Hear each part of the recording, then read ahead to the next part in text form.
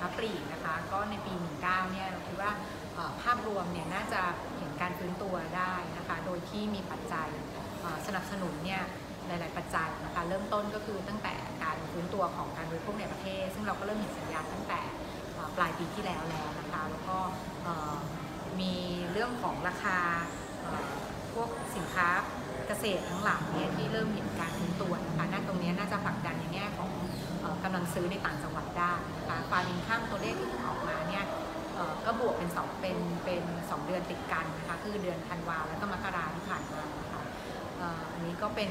เป็นตัวช่วยเสริมในกำลังซื้อในต่างจังหวัดขณะที่ในกรุงเทพเองเนี่ยการการภาพรวมของกำลังซื้อเนี่ยมันค่อนค่อนข้างแข็งเฮลตี้อยู่นะคะค่อนข้างแข็งแรงอยู่เพราะฉะนั้นเนี่ย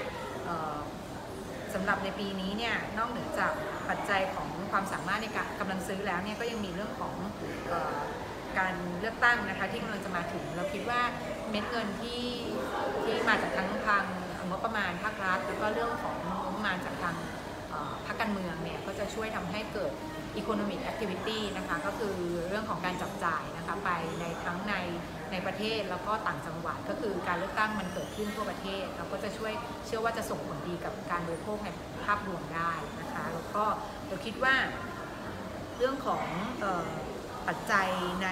ในแง่ของ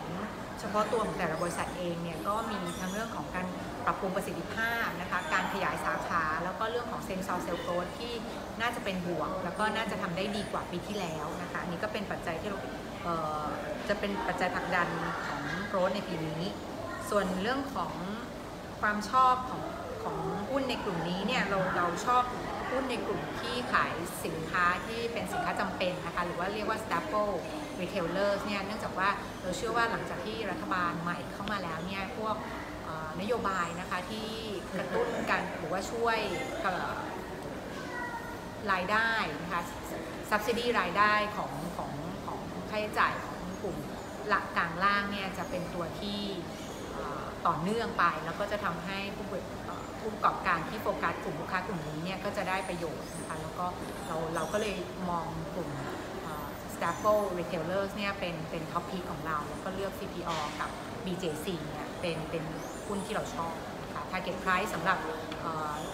BJC เนี่ยก็คือ 60 บาทนะคะ ก็ยังมีอัพไซด์อยู่พอสมควรนะคะงบที่ออกมาก็น่าจะเป็นปัจจัยส่งเสริมทำให้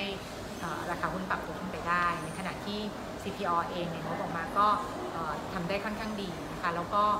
มีปัจจัยเสริมก็คือข่าวในแง่ของแผนที่จะไปต่างประเทศก็คือ กำลังเจรจาเรื่องของ master franchise ในลาวแล้วก็กัมพูชานะคะเป็นปัจจัยที่เป็น potential upside risk ให้กับราคาหุ้นแล้วก็ earning growth ในระยะกลางถึงระยะยาวค่ะเอาอย่าง